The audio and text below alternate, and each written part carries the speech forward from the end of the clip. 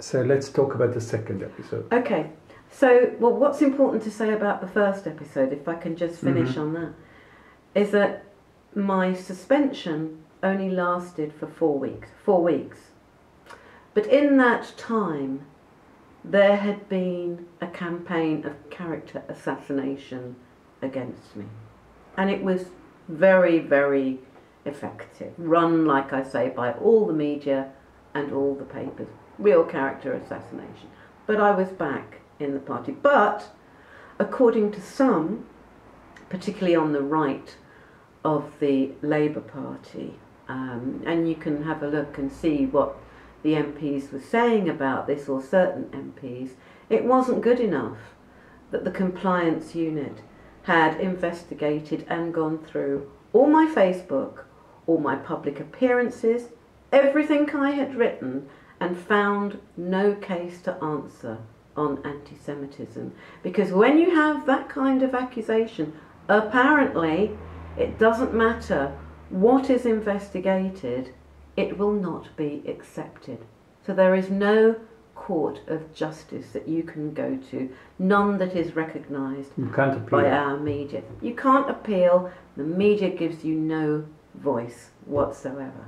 It's very so throughout important. this character assassination, Yes, nobody from the media, from any channel, No. has contacted you no, to get your no, no, no. Okay? So that's that. So then I keep going on, but I'm a bit more careful now, you know. Like when I go to speak, I write down everything I'm going to say, and you know.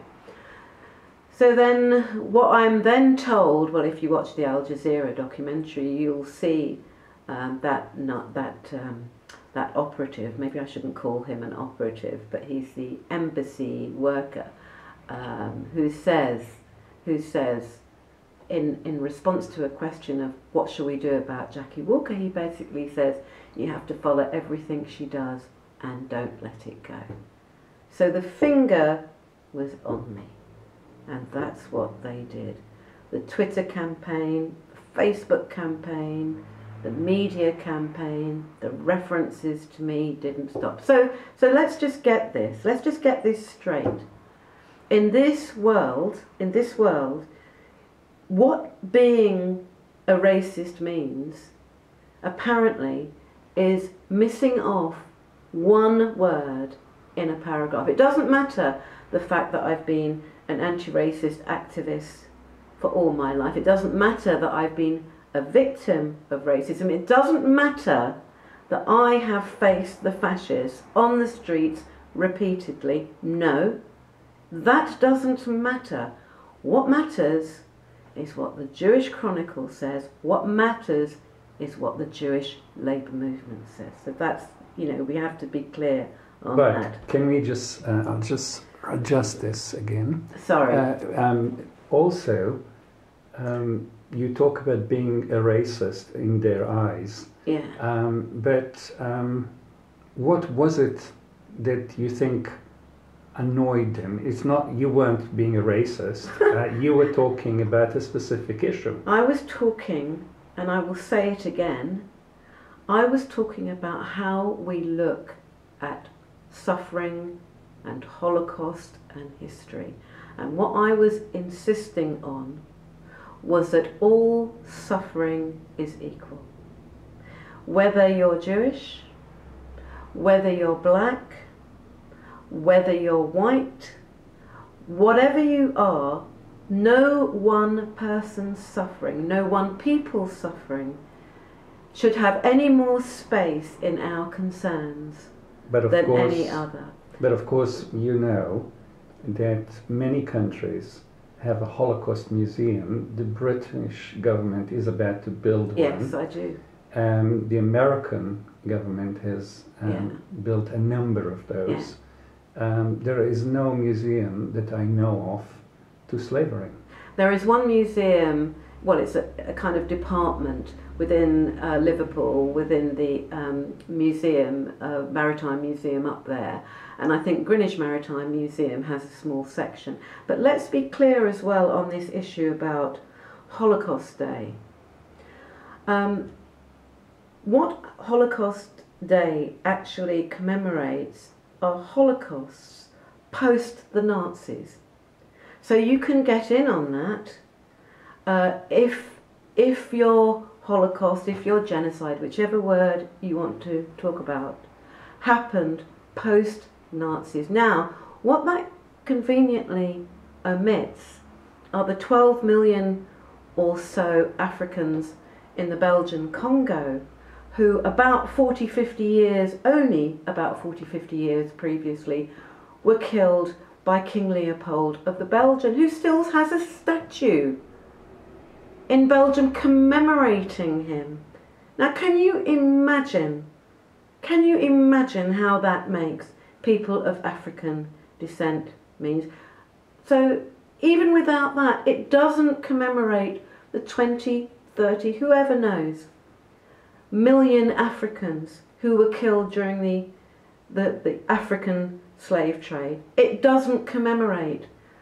the black children, babies in America who were experimented on by having spikes put into their brains while they were alive. It doesn't commemorate the women who had their vaginas ripped apart while they were awake so that we would be able to get a speculum that actually for most of the time you know after that most of the 50 years after that work was done was only used on white women because because apparently black people don't feel pain in the same way as white people that conveniently conveniently we don't have a museum to commemorate that now of course, can... we also don't have a museum to commemorate the killing of the whole of North American population. Of course, or the Aboriginal people in Australia. It's very convenient that actually